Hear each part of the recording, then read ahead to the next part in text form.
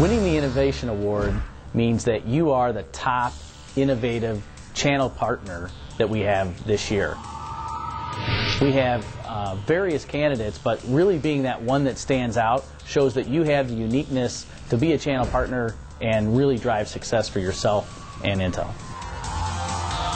My favorite part about the ISS Awards is it recognizes innovation, right? And innovation is really what's going to set um, our customers apart from the MNCs, allow them to compete and excel and build profitable businesses. And at Intel, we're all about innovation. And being able to recognize that and our very close partners is just awesome. The judging process was tough and took several days. But I think when it comes down to it, there's always that one partner that stands out among the rest. And we're happy to announce the winner today.